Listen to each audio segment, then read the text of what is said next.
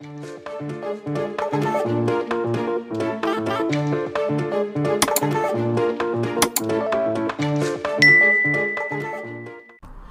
everyone, Narcissist Free almost here and in the spirit of Halloween I thought I'd share with you the creepy manipulations of a gaslighting malignant narcissist. I know hearing other stories helped me tremendously when I was new to the whole narcissism game and that was quite some time ago. Because narcissists are so confusing not only because of their disordered personalities, but also because of their deliberate sadistic tactics to keep the victim off balance so as not to find out who the narcissist really is behind the mask it becomes profoundly important to the victim to be able to process the entire experience, beginning to end, by putting concepts and definitions to each and every interaction. It can, and often does, become somewhat of an obsession.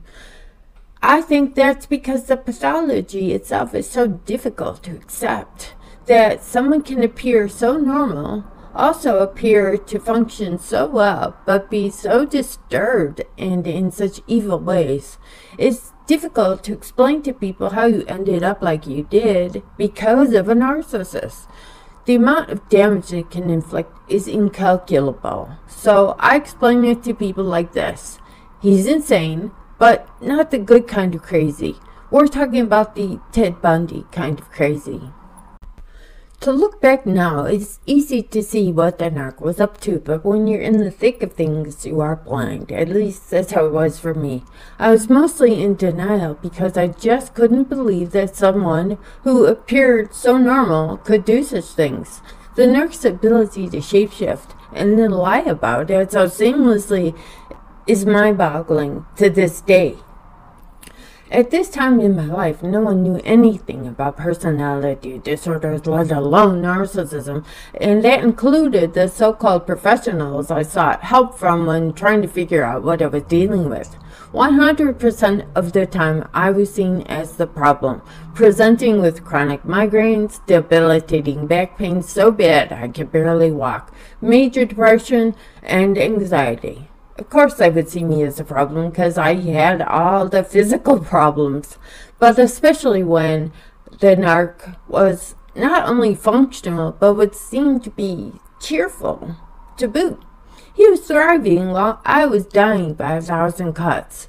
When this comparison would be made, it was especially pleasing to the narc because I let him know he was getting away with his plan to make me sick and keep me sick.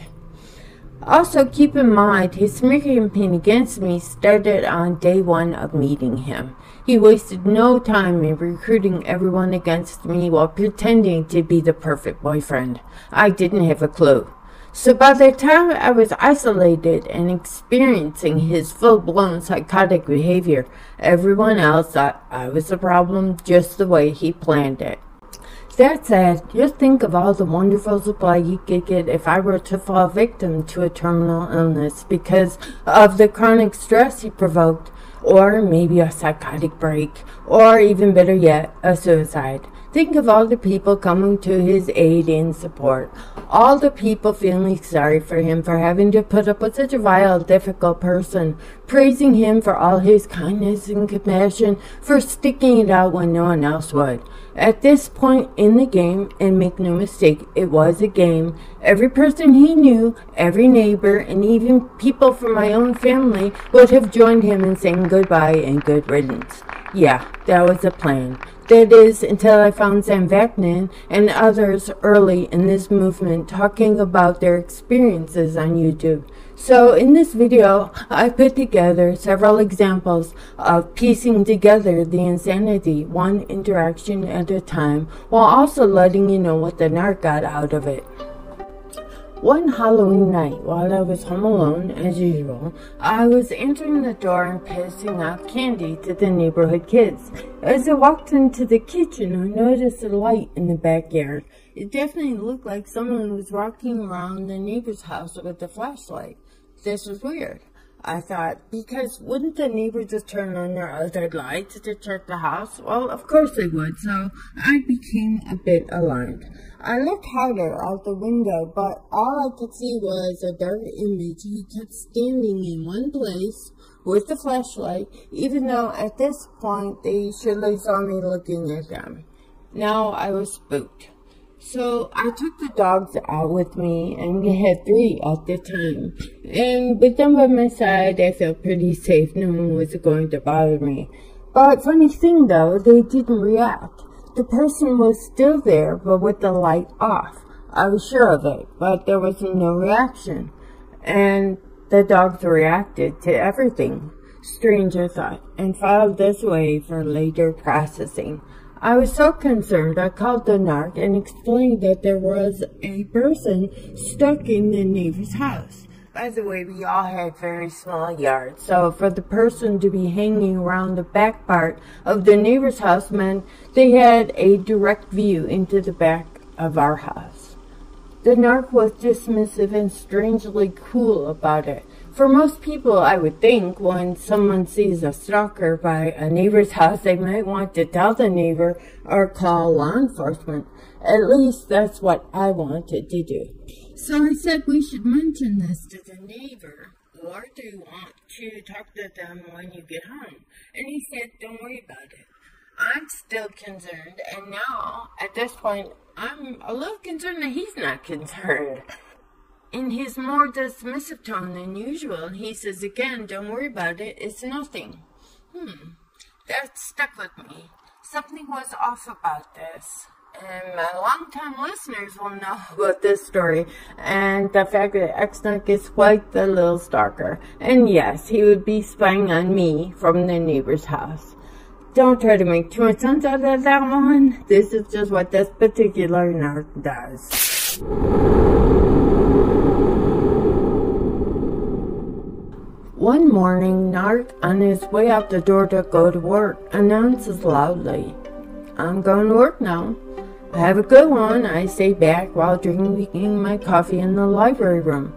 You couldn't see the front door or the stair banister from this room. So I get up to get my coffee from the kitchen, and lo and behold, who's standing by the stair banister and dusting? Yes, you heard me right. He was dusting. Well, of course I jump out of my skin. What the hell? What are you doing? He's standing there in the hallway pretending to dust with a smirk on his face. I guess he thought this was funny. So your little gaslighting narcissist would have me doubt myself, wondering if he really did say he was leaving or implying at this point he was merely dusting. So am I losing my mind? Anyway, this was a regular little exercise the narc loved to do to me to keep my nervous system at an all-time high.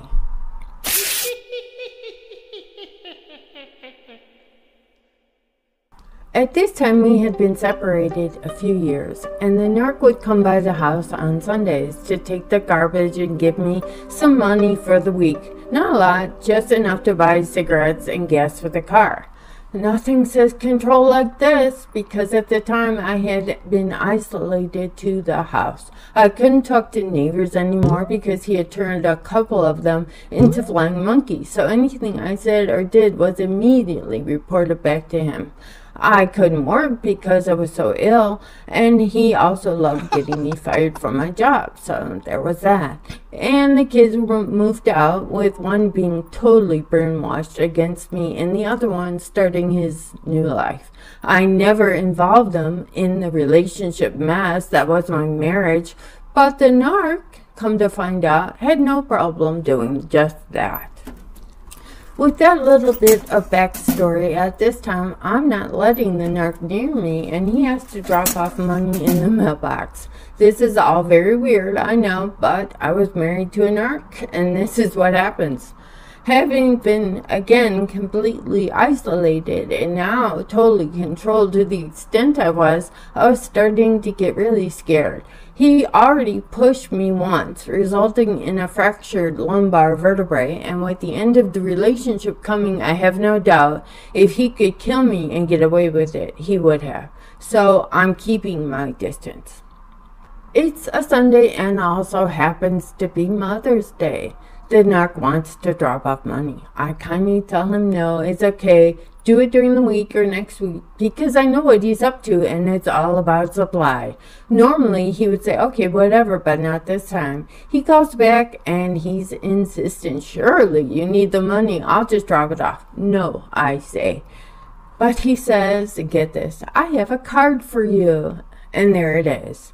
Oh, really? I'm thinking to myself at just how cruel this was. Again, I'm alone, isolated, and not talking to my kids for fear they've been turned into flying monkeys too. By the way, one absolutely was, and the other one was safe.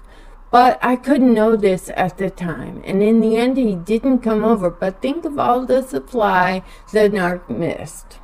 The narc's plan would have been him driving by, dropping off a Mother's Day card.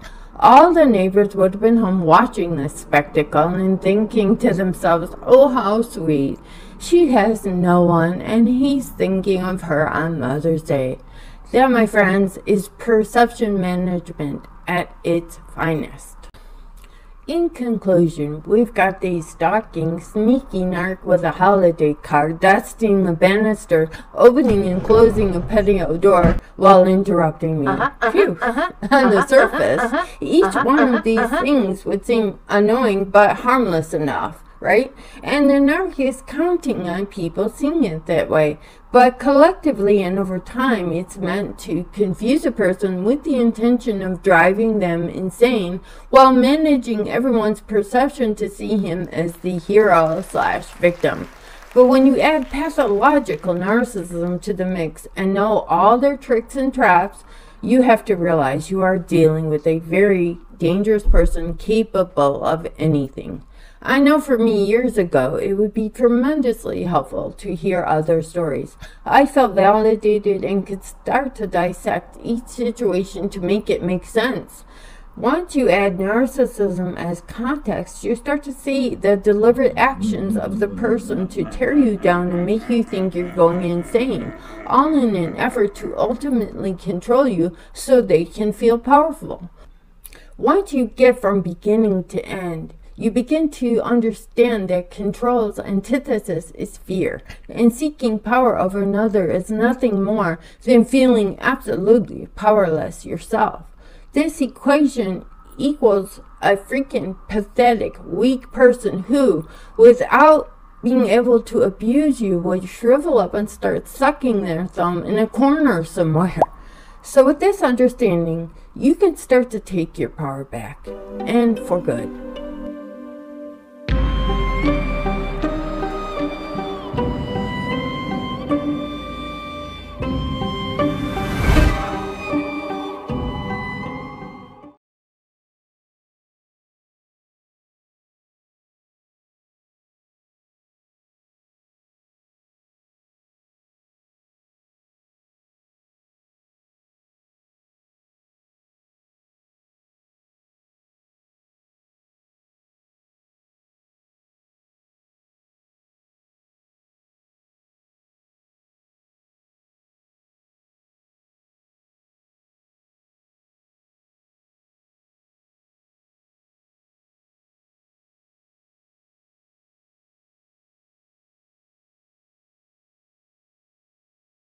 Música